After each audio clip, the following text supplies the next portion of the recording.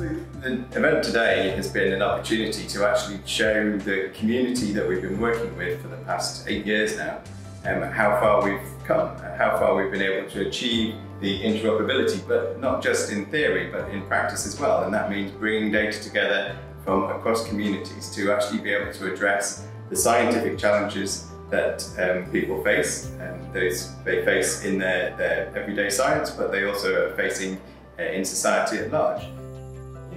Contribution of EPOS to sharing the data and to the culture of sharing the data is to have federated many different research scientific communities to integrate data and metadata to make this data accessible. The end of a project is always an amazing moment because you get an opportunity to see where we were at the beginning of the project and where we are now.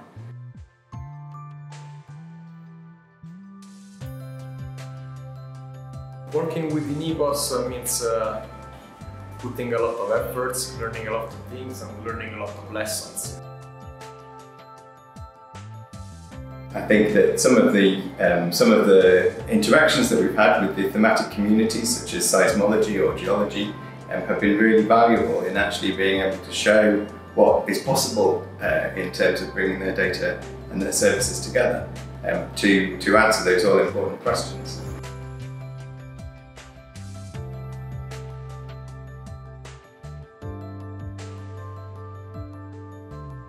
We've seen an overall organization of the whole EPOS delivery framework with an organization of the TCS, which are the thematic core services of EPOS, their integration into EPOS, and a lot of technical development. This means that we've gone from a position with